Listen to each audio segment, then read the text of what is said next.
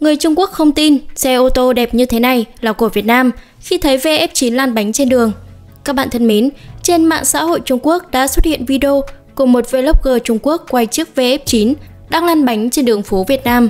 Sau khi video này được đăng tải thì đã thu hút rất nhiều tương tác của netizen Trung Quốc. Với bản tính của người Trung Quốc từ trước đến nay thì cái gì đẹp đều nhận là của Trung Quốc, còn cái gì xấu thì đều là của thế giới. Trường hợp trong video này cũng không ngoại lệ. Khi thấy kiểu dáng thiết kế đẹp và thời thượng của VF9, netizen Trung Quốc đã lập tức nhận ngay đây là xe của nước họ. Việt Nam chỉ nhập về rồi thay logo mà thôi. Có một số netizen Trung Quốc khác không biết nghe tin tức ở đâu rồi nói hãng xe này là của ông chủ Trung Quốc. Đa số người Trung Quốc không tin Việt Nam có thể chế tạo được một chiếc xe điện đẹp như vậy. Qua đó có thể thấy được việc sử dụng mạng riêng với thế giới nó nguy hiểm như thế nào. Nên một số người Trung Quốc luôn nhận mình là nhất, công nhận là nhất thật mà là độc nhất ở trong một cái ao.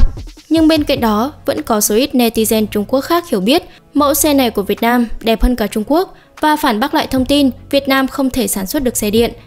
Vậy netizen Trung Quốc đã nói gì khi xem được video phía trên thì chúng ta cùng nhau tìm hiểu ngay sau đây nhé. Tất cả các bộ phận của chiếc xe này đều do chúng ta sản xuất, kể cả đèn cũng được sản xuất bởi nhà máy của chúng ta. Chiếc xe này nhìn đẹp hơn các sản phẩm nội địa của chúng ta. Bình luận này đã nhận lại được hơn 84 câu trả lời của netizen Trung Quốc. Vậy họ đã phản hồi như thế nào? Chúng ta cùng nhau tìm hiểu ngay sau đây nhé. Thế mà đẹp, tôi không thể hiểu được con mắt của bạn như thế nào. Vậy ý bạn là chỉ cần nó được sản xuất tại Trung Quốc thì nó là tốt nhất trên thế giới, đồ của người khác không thể tốt hơn của chúng ta sao? Thiết kế ngoại hình của chiếc xe này thực sự ưa nhìn, không thổi phồng. Thương hiệu này không được sản xuất tại Việt Nam đâu. Về cơ bản mọi thứ đều được sản xuất tại Trung Quốc, vậy làm sao nó có thể tốt hơn xe của chúng ta? Buồn cười, Việt Nam hơn ta chỗ nào, ha ha, cho đùa của bạn thật buồn cười. Quan niệm của người Trung Quốc mãi mãi là như vậy, họ bảo thủ với quan điểm của mình, đấy gọi là ích ngồi đầy giếng. Tôi luôn cảm thấy mình thật tuyệt vời và không như những người khác. Tất cả trên xe của nước ngoài đều là fan của BYD, tình cảm yêu nước đang bị tẩy não bằng cách này. Việt Nam thực sự làm gì có khả năng sản xuất được một chiếc xe như thế này? Thôi thì tôi không tranh luận nữa, xe nội địa là số một thế giới và vũ trụ được chưa? Mặc dù tôi cũng thấy chiếc xe này rất đẹp, nhưng bạn đã bao giờ nhìn thấy một chiếc xe trong nước chưa mà dám nói là nhìn đẹp hơn hàng nội địa của chúng ta? Thực sự chiếc xe này có thiết kế rất ưa nhìn, nói chiếc xe này đẹp sẽ có người rất khó chịu, nhưng những người này không biết phân biệt đúng sai gì đâu. Tôi đồng ý với bạn, tôi cũng nghĩ rằng nó tốt hơn so với xe trong nước.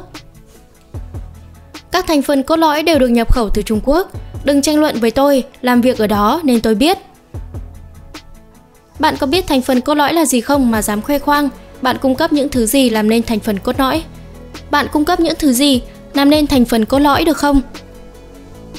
Các thành phần cốt lõi đều nằm trong tay của châu Âu và Mỹ, Nhật Bản và Hàn Quốc. Bạn dám nói về thành phần cốt lõi của Trung Quốc, quá đỉnh.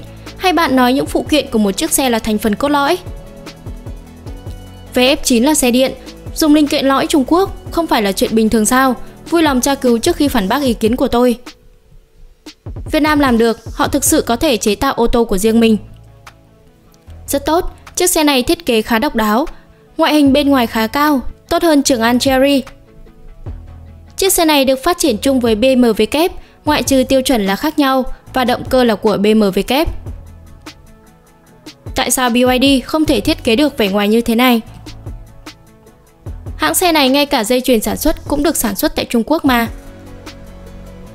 Tôi đang suy nghĩ, thương hiệu này có kiếm tiền từ việc sản xuất ô tô không? Với sản lượng hàng năm trên dưới 100.000 xe và nhiều mẫu mã như vậy thì làm sao có thể hỗ trợ doanh nghiệp tồn tại và phát triển được? Mitsubishi Motors của Nhật Bản thua lỗ trong việc sản xuất và bán 600.000 xe hàng năm. Làm thế nào mà hãng này xoay sở để tạo ra hàng chục nghìn chiếc xe ngày càng lớn hơn như vậy? Thiết kế của chiếc xe này trông thực sự tốt với các yếu tố thương hiệu của riêng nó. Tôi không thường xuyên đọc tin tức về Việt Nam, tôi thực sự không biết rằng họ đã tiến bộ như vậy. Xe này ráp ráp tại Việt Nam và ông chủ hình như là người Trung Quốc. Thương hiệu này không liên quan gì đến Việt Nam ngoại trừ cái tên là của Việt Nam. Nó trông đẹp hơn nhiều so với chiếc xe hồng thất giá trị nhất của chúng ta. Ít nhất chiếc xe kia còn chắc chắn và hòa hợp, nhìn rất ưa nhìn. Việt Nam bây giờ có cao tốc không? Tôi đã ở đó năm 2016, đi trên một con đường núi bằng đất khi tôi ra khỏi thành phố. Tôi chắc chắn rằng thiết kế bên ngoài này có thể nghiền nát xe trong nước của chúng ta, nhưng nó không bán được quá nhiều.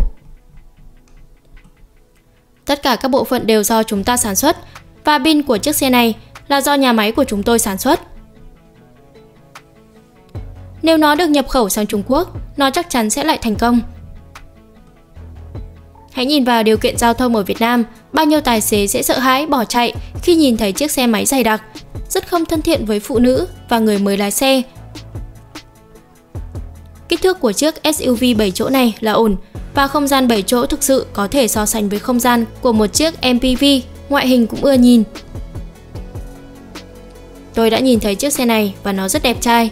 Ngoài ra họ còn có một chiếc xe máy nhìn cũng rất đẹp. ác quy, motor, điều kiện điện tử, máy móc, tất cả từ Trung Quốc đại lục.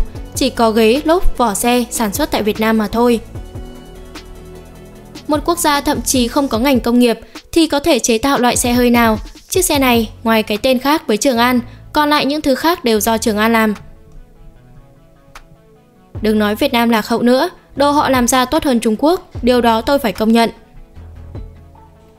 Ngoại hình của nó đánh bại tất cả các mẫu trong nước, nhưng các mẫu xe trong nước đã nghĩ đến thiết kế như thế này chưa?